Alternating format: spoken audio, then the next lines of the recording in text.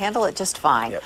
Well, AIG using federal bailout money for executive bonuses has raised many questions about why AIG was given money to begin with. And Congressman Darrell Issa from the San Diego area is here to talk about this and other things as well. Good morning, Congressman.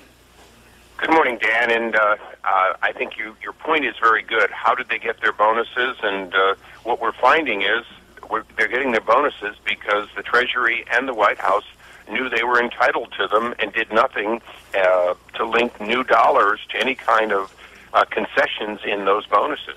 So when did we know about this? I know we keep hearing uh, conflicting reports, and uh, I guess these contracts were signed. We're, we're hearing now back in May of last year. So who was supposed to be looking at this stuff, and who was supposed to know about this? I mean, this goes back to the previous administration, Congressman. Well, exactly. Here's, here's, if you will, the sequence of culpability. Yeah. AIG did what you do in the ordinary course of business. They they entered into contracts, arm's length contracts with people they wanted to keep. These were not key stockholders or big insiders. These were managers that they wanted to hold on to. They uh, they then got into trouble. They then uh, came in for TARP one money. So initially it was Paulson as Treasury Secretary, Kashkari as his right hand man, and obviously President Bush, who went in there with money, the TARP money, and uh, and didn't do the due diligence you should do to ensure that uh, that you know what you're giving to and what they're going to do with the money and where it's going to go. And are we of talking course, about that, that original, was that $85 billion, something like that? Right, out of the original 350 billion. Yeah. What's happened? What's happened is uh, this pattern, uh, not just with AIG. th- Please understand, this is the tip of the iceberg. When you hand your government, your executive branch or your Congress, but certainly your executive branch, when you hand them walking around money in multiple billions, this happens every time. They got 350 billion in the first uh, administration. They squandered it without getting the kinds of nailed down where's the money going, what concessions are there, if you will, what we had the debate on General Motors and Ford about. Are you going to have a turnaround strategy, and what are your employees and managers going to do as part of it? Right. Then the new administration comes in. They get all these additional powers, to, you know, because they said the last administration was loosey goosey. Remember, the last administration got it from the Democrat majority, not from the Republicans. And the same thing has happened. What's worse, though, is they were told about these in time to object before they were given out, insta- including the president, who was informed.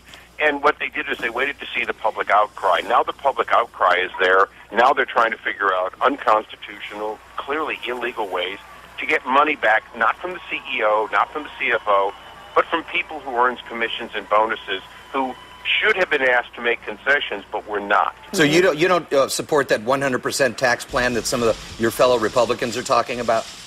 None of my fellow Republicans are talking about that kind of, uh, as far as I know. I Kay Bailey Hutchinson yesterday, Kay, Kay Bailey Hutchinson from the Senate from Texas said she she favors 100% tax and just take that money back.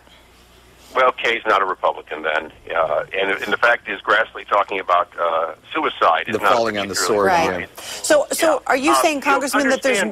I'm sorry. Are you saying that there's nothing that can be done now? That that, that those contracts are just um, signed, sealed, and delivered, and and that w- there's nothing to happen from here? Look, you've got you, you've got a lot of listeners out there that sign the front of a paycheck. They're bosses. If if a boss does something like this, you sit down and say you're not getting another penny until you give back the money. That's fine. These are not CEOs. These are not bosses. These are working stiffs. They may be well-paid working stiffs. We may think they should have made concessions. I think they should have. And I'm not defending them, but understand everyone that's listening out there that's an employee in a company that has a 401k matching contract or has a bonus or anything else, after the entire period of time of earning it and the, the time to make the decision, and you get the check, and then they say, well, we're going to tax you 100% or 99% on this. Understand America doesn't work that way. Two administrations, two presidents, two Treasury secretaries, and Assistant Secretary Kashkari, and many others screwed up. Any one of your listeners who's an attorney that does mergers and acquisitions or debt work, any banker will tell you this was a checklist of items that should have been checked for whether concessions should have been made, contracts renegotiated. Hey, Congressman, your I- government has screwed up. Yeah, I, I just wanted to ask you, you know, these bonuses and things like that, they're handed out, you know, pretty commonly on Wall Street, millions and millions, nobody blinks an eye, but that's when they're doing well. When you drive a company into the ground, and some of these guys were responsible for this, I mean, you're calling them bit players, but nonetheless, these guys make millions of dollars a year and they make decisions on these things. Um, you know, you're supposed to be rewarded for doing a good job. They drove this thing into the ground. Why should they get bonuses? Dan, you're not supposed to be. That's that's the misconception. I I, I beg any one of your sick car salesmen out there to uh, to call in. A car salesman is paid based on how many cars he moves. If there's a trip to Hawaii, if he moves 100 cars, it doesn't matter if the car dealership is on the edge of bankruptcy. He's supposed to keep that promise. The point is, these are contracts for performance. They're drawn based on certain performance. Yeah. If they met that performance, and you understand, these are not these are not the CEO. They're not in a position to write the contracts. They were arm's length. So think of it much more like the car salesman who sells 50 cars and he expects to get his pay plus the bonus that he was told if he sold so many cars. The fact that the car dealership lost money, he was not controlling what we call the mm-hmm. P&L. So the sanctity of the is- contract is, the sanctity of the contract is what's at stake here, and that's something that you think should be honored. Well, the sanctity of the contract, but more importantly, we have to admit our government, two administrations, two Treasury secretaries, screwed up by not getting these renegotiated. But after somebody has sort of made the sales, done what they're supposed to, uh, now if these contracts had been linked to profitability of AIG, obviously they wouldn't have earned a penny. These Right. contracts were linked to certain performance. They they sold so many derivatives at such and such a price. Uh, none of us have looked at these contracts. We're all waiting to see more of the details. But I, you know, I employed 400 people. I've see, I've, I've employed a lot of salespeople. You know, in, in my worst month, somebody still was my best performer uh, in selling products. So I'm not defending these people, but we've got to look and put the blame where it belongs. It belongs on the loose money that is floating around Washington and then going up to New York and trickling down. We've got to tighten up the front end because if we keep giving away your tax dollars and then being shocked when that money ends up in China repaying a debt or ends up uh, in all kinds of other places that you know we're surprised, and then we say somebody did wrong. The somebody is the person handing the money. You're, you both bought things.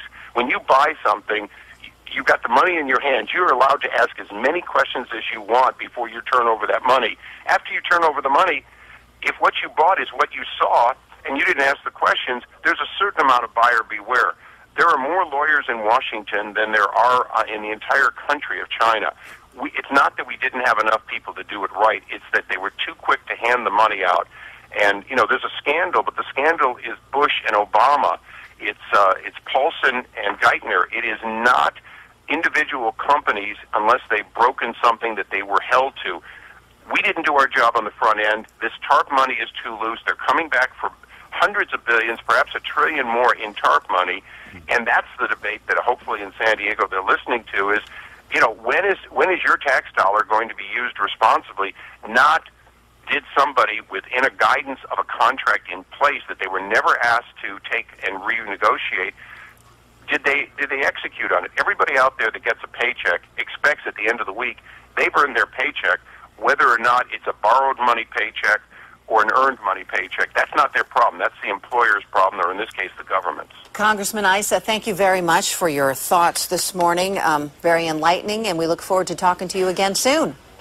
Well, thank you. Thanks for uh, the opportunity to, to put sort of the other side of the story. I, I, I don't want to vilify people I never met, particularly when the people I have met, like Geithner, I do want to vilify because he's not doing his job well. All right, well.